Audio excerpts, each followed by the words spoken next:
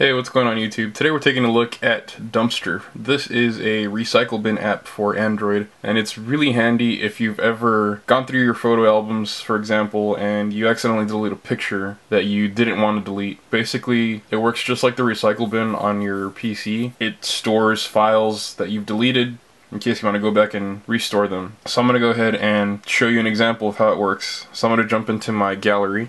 Okay, and here we have my wallpapers uh, folder I'm just going to go ahead and delete a bunch of these. Just said delete.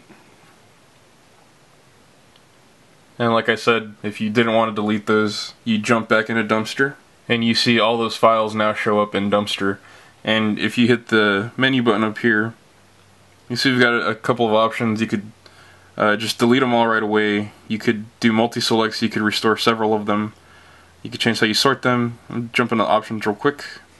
And here we have what items you wanted to protect. So you could have it protect all your stuff, which you're likely to delete, or say you only care about accidentally deleting pictures, you just select images and uncheck the other ones, and only have it protect your images.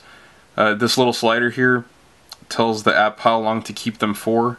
Uh, by default, it's keep items forever, so that's where I keep it set at. Just hit OK. I'm going to go ahead and restore all of these. So we'll do multi-select and then we'll select, uh, let's select half of them. And just hit the little arrow over here. And you see it, it says uh, restored four files successfully. So I'm going to jump back into my gallery so you can see that those files have indeed been restored. Alright, and there's my wallpaper folder and you can see that four of the wallpapers that I restored are now back on my phone and I can select them and they open up no problem. So again, this is Dumpster. It's a really convenient app, and I highly recommend you uh, install this on your phone. It is available in free and paid versions.